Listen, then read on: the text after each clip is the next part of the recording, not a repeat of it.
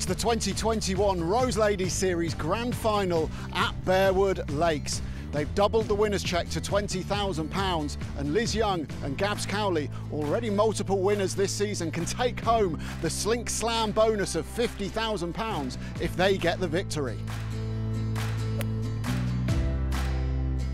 Never in my wildest dreams did I think, you know, two years ago that a one day event and I could be earning 70,000 uh, in one day. That's life changing. Uh, it's a life changing amount of money. But I'm just going to take one shot at a time and what will be, will be. First prize, especially, is big money. So it is a big life changing money this week, uh, especially with the bonus. Whatever happens, happens. Just going to try and enjoy the day as best we can. There's a lot of focus on three-time winner Cowley and two-time winner Young as they hunt that Slink Slam bonus for winning two regular events and the grand final. But there's a huge incentive for all the players with that increased winner's cheque and the prestigious title of Rose Ladies Series Grand Final champion up for grabs. Talia Martin is in good form, having finished second and sixth in the two previous events this week. Hopefully it keeps on carrying on. As you know, golf is very inconsistent, but hopefully I keep keep on going and hard work and everything like that. And yeah, no, it does give confidence for next year and just to be able to get the experience like um, the Rose Series have made me for this year. It's just yeah, really good. Lily May Humphreys finished second here as an amateur last year. That result gave her plenty of confidence and she's made a great start to her pro career this summer especially because um, you had people like Georgia Hall, Charley Hull, and Gemma Streiber playing and that, and seeing how close I was to kind of beating all of them nearly a couple of times, and it made me want to turn pro, and I knew I was ready, and it made me excited to make the step. Bearwood Lakes is 6,264 yards and features tree-lined fairways and water coming into play on nine holes oh, it's beautiful, like, it's like very Woburn-esque sort of type, but no, it's a challenging course and I'm looking forward to it. Last year it was quite firm and dry, but this year the rough's a bit more thick and lush and the greens are a bit more receptive, so it's playing a little bit different, but yeah, it still looks in great shape. I'm really looking forward to getting out there.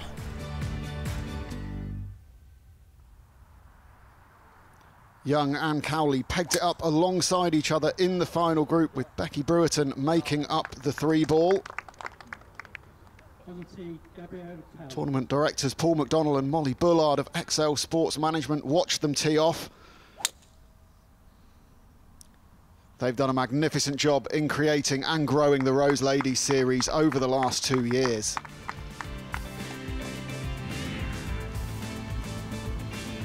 19-year-old Lily May Humphreys had a tough start with bogeys at the first four holes, but she showed her quality with this deft chip at the seventh to save her par.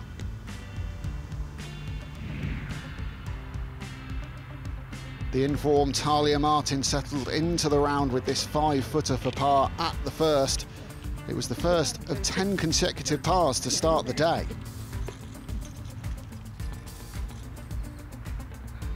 Cowley also had a bit of work to save her par on the opening hole. She converted and racked up five more pars before dropping a shot on the seventh.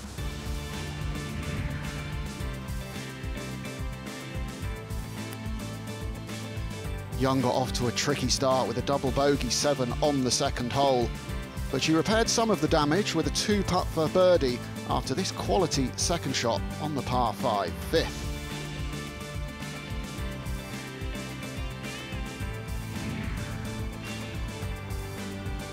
Chloe Williams circled red numbers on the second and the fifth. She kept a bogey off her card with this par save on the seventh. The 26-year-old from Wrexham got to three under on the eighth and unleashed another cracking shot on the par three ninth. She two-putt for the three and a front nine of 33 strokes. Williams has a two-shot lead, two-thirds of the way through her round. Former LET winner Hannah Burke and Talia Martin are at one under.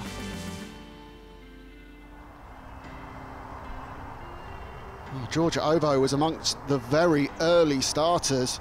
Was going along very nicely at level par. Great shot in here on 18. Can she get under par by holding this one? Oh, it didn't move an inch. So she taps in. And level par is the very early clubhouse target set by Georgia Obo.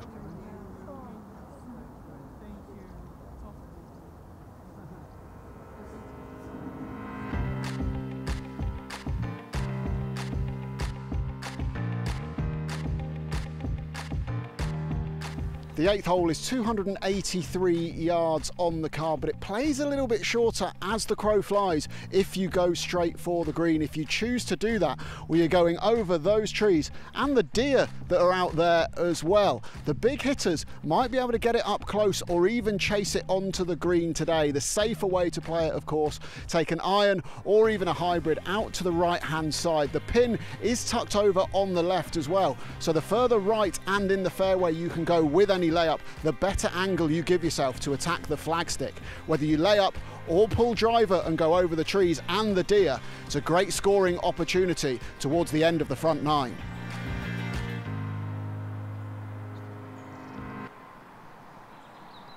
Annabel Dimmock has chosen to lay up. Looks like she's given herself a good angle into the pin though, tucked over on the left-hand side today.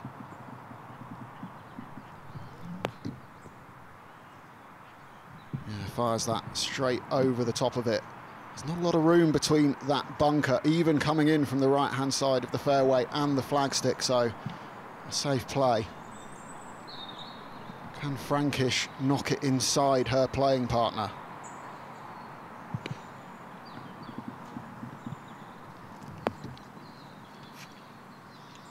Yeah, she can. She's found that little bit of green as well, and that gives her an uphill putt.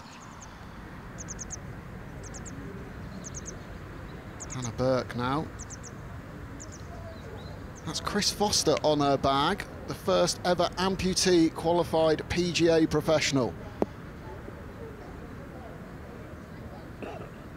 An excellent shot into the 18th, so she gives herself a chance for birdie to set what will be a very competitive total. Dimmock slightly downhill for birdie on the 8th. You can see it was always turning on the low side. And that is a feature of the course here at Bearwood Lakes. Quite a lot of slope and turn on the greens, especially if you get yourself above the hole.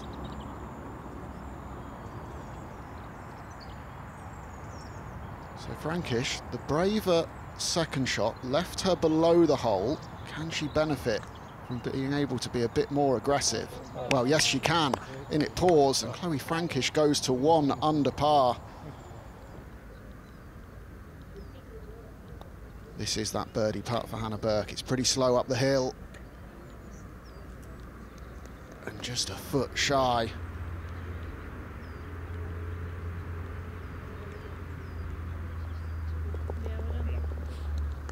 Tap in, and that completes a really good round for Hannah Burke. 71, one under par. I think she'll be hanging around just in case. Gemma Clews, two over par. And this ninth hole with a pin tucked over on the left, water lurking. You've got to be bang on with your clubbing if you're going at the pin. And she is. That is an absolutely stunning approach.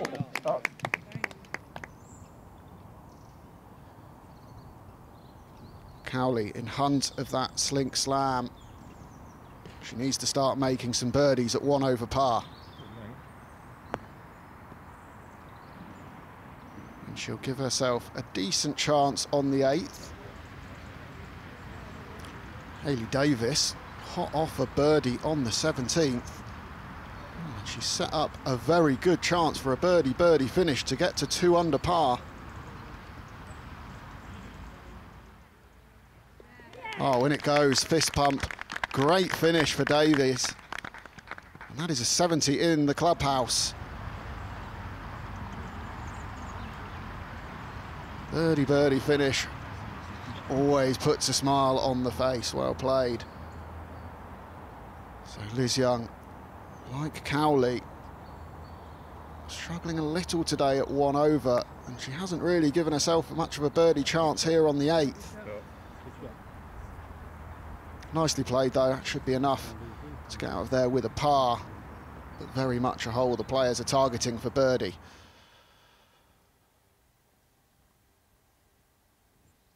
Jay Bowers from long range on the ninth.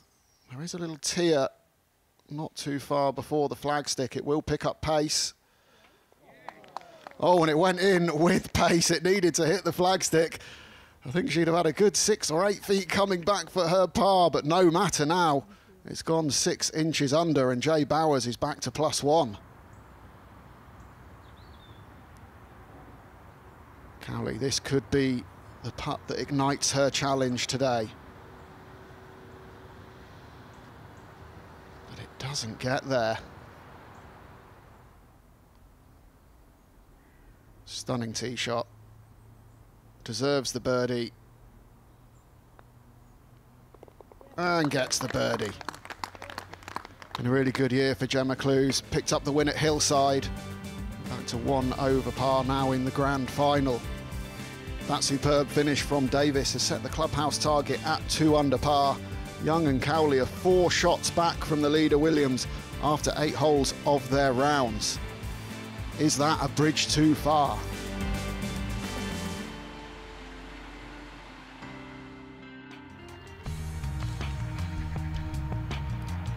The Rose Ladies Series Grand Final at Bearwood Lakes is still up for grabs, but Gabs Cowley and Liz Young are going to need to find some birdies pretty quickly if one of them is to complete the Slink Slam.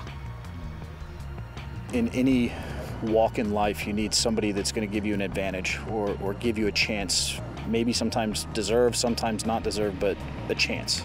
And I think this is a great way to give women who want to be professionals a chance or who are starting their professional career, give them that chance. And if they're able to capitalize on it and build a great career out of it, I think then it's it's a massive success and, and it's done what it's supposed to.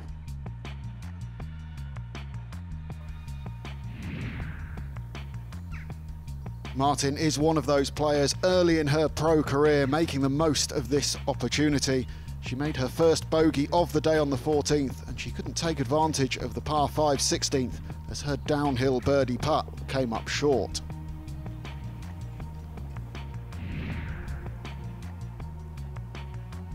Frankish dropped back to level par with a bogey on 10.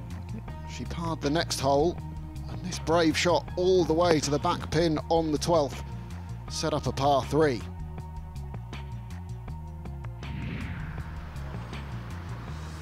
Former English women's amateur champion Samantha Giles birdied the penultimate hole. A long birdie effort never quite looked like going in, but she tied it up nicely for her par on 18 and signed for a 71 that included five birdies and four bogeys.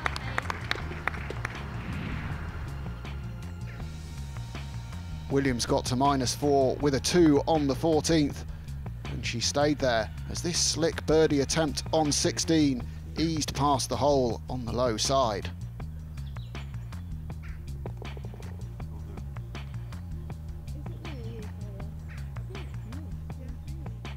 A simple tap in for par, and Williams leads by two again. Holes are running out for Cowley and Young to catch her and claim the £50,000 Slink Slam bonus.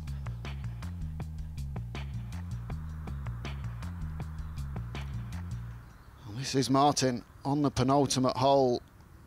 Another shortish par four, similar to the eighth. Decisions to be made. She has chosen to lay up.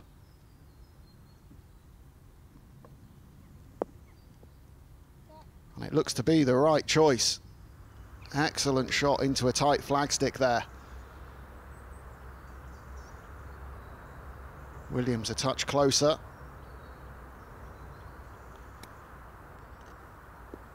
Well, that's really good. She gave herself an excellent angle so she didn't have to come in over those bunkers. It's just released on a little bit. Clever golf, though.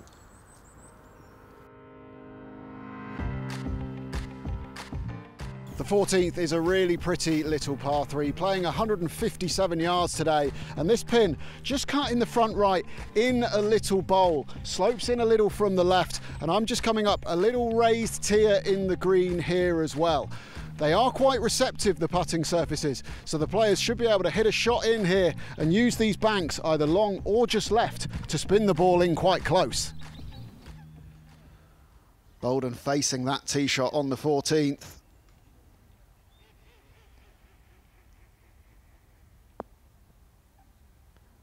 Well, just fly it all the way, get it to stop on the receptive greens to about six feet. Happy days. Lydia Hall, she's already finished fifth and 13th this week, playing well on the LET this season as well, so definitely a player in form.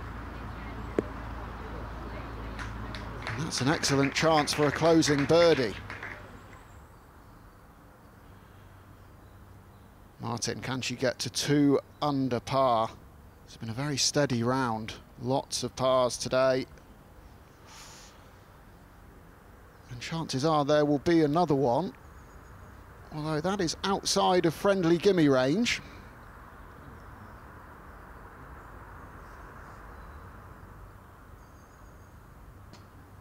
Williams has this tournament by the scruff of the neck. This would get her to five under par. Come on, come on, come on. Oh, and it does. Little fist pump. Wonderful. She's coached by her father, Paul. He can't be here today, but he will be a very keen observer.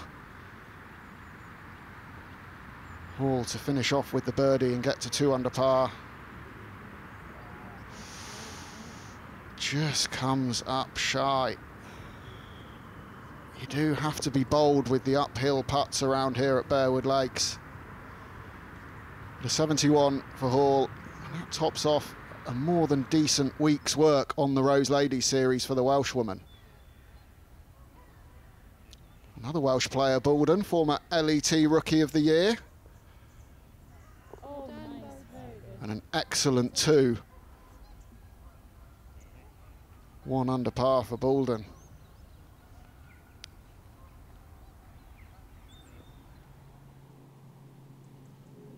That is a great look at the view of that shot into 18.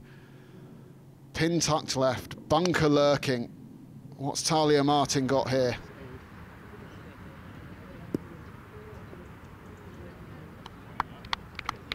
Well, she went right at it. a pretty decent result. She looks happy with it. Oh. But that putt is going to be quick. Williams coming from the left hand, first cut of rough, five under par. It's not the best angle to get at that flagstick, especially coming out of the rough.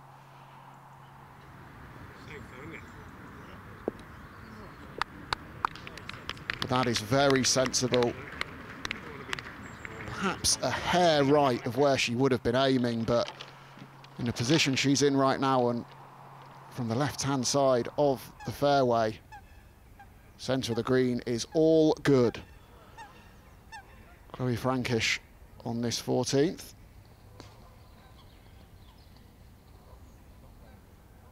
Seven top tens in 52 LET events in her career so far, just 22 years old.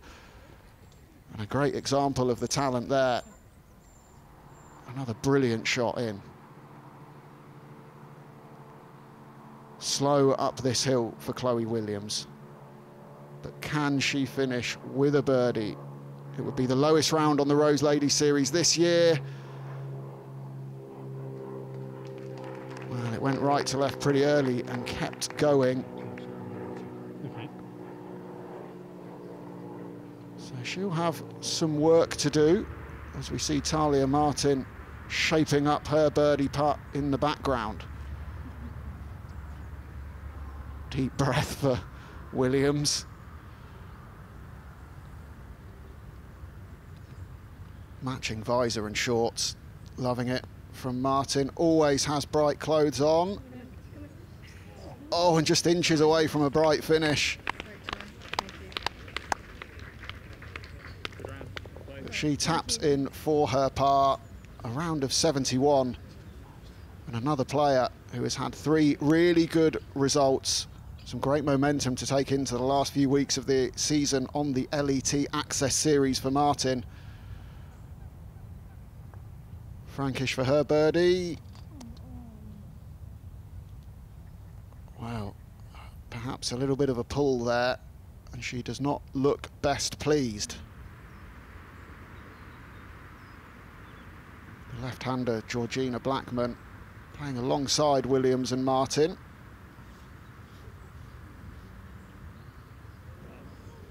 You wouldn't think you could leave that short. And, wow, good evasive manoeuvres from Williams in the background there. That could have been an interesting finish. You definitely want all your teeth left in if you're going to be posing for a photo at the end with the trophy. Still a little bit of work to do before Williams can think about that though. She's got this five footer for her par to complete a bogey free round. Oh, it just catches the left edge and lips out. So it isn't to be a blemish free card for the girl from Wrexham. But that is still a very, very good 68.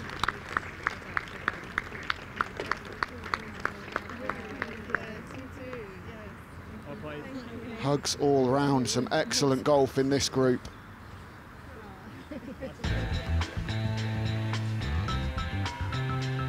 That closing bogey won't matter as it looks like Williams' 68 is going to be enough to seal the title.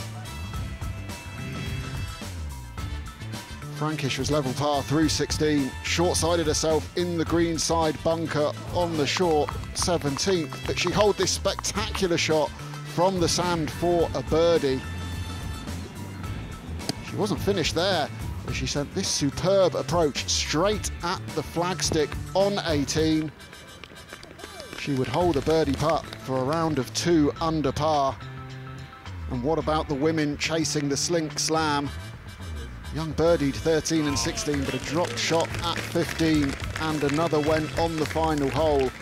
She made this delicate up and down from long of the green for a five, and a round of 74.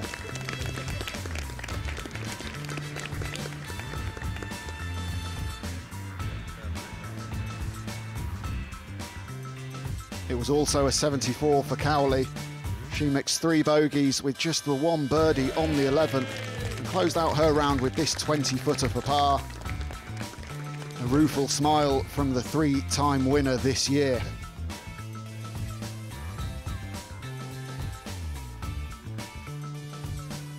Chloe Williams wins the Rose Ladies Series Grand Final with a fantastic 68 to claim her first professional title and pocket the £20,000 winner's cheque.